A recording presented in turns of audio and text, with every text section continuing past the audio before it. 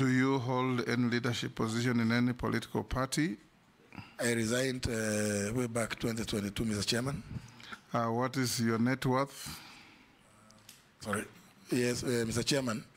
Uh, my current net worth is just slightly over 800, 800 million.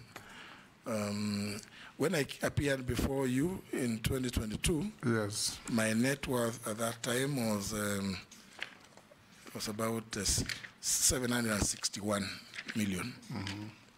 So we have had a slight uh, adjustment of about 5.6 percent, 5.68 percent to 801.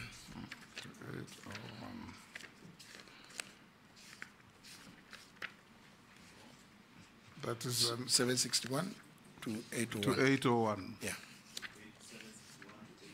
Yeah. Speaker. Yes. Yes. Mr. Speaker, you know, 761 to 801 is a growth of 40 million. Yes. I have seen uh, senior counsel Ahmed Nasir, who is a lawyer like yourself, ask that for all these years, you are only able to have a net worth of 761, then in less than two years, 40 million. What would you say to Ahmed Nasir? Because I know the answer myself, but maybe you can say something to him as a lawyer. No, because I haven't been practicing, uh, I cannot even uh, answer it in that regard. But uh, of course, uh, we began in um, very, very junior levels uh, in, in on the, the public service. Do you know how much you were earning? 2,400. Yes, You remember? Yes. That was our take home. yes. We were appointed on the same day We were as appointed on the same day with the chairman and Yes. as magistrates, and uh, you know that's what we used to take home. So when somebody looks at the length of time that uh, we've worked, part of it, and I did indicate that um, I put in a cool uh, slightly over 15 years uh, when we're earning those kind of uh, meager salaries. So, well, for me, I think, uh, Mr. Chairman, it's just to show that uh, I've been a very modest uh, civil servant or public servant.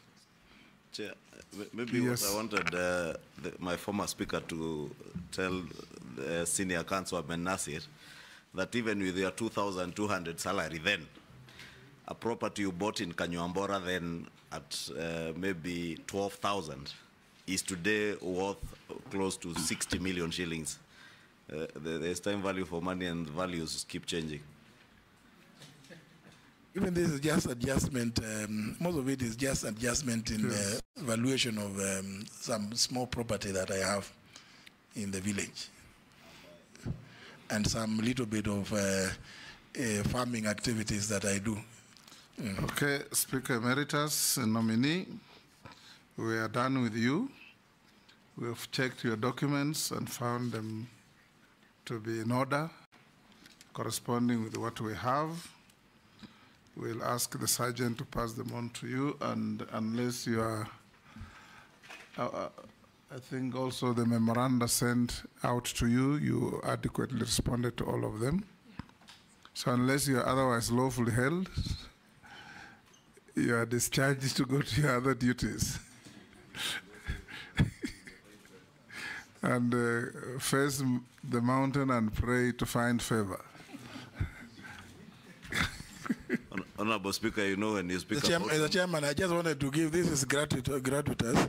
Uh, I just wanted to give, um, for the benefit of uh, staff, um, something I call um, an exit scorecard Yes. of my 20 months and um, 15 days at the state law office. Give it to us. And hold on, Majority Leader was saying, so, I was saying on a light note, I can confirm the Honorable J.B. Muturi does not pray facing the mountain. He's a very good Anglican. He does not go to the mountain. There is the other people who are known for the mountain, not Yes. J.B. I pray to only one God. Murugara has a different knowledge.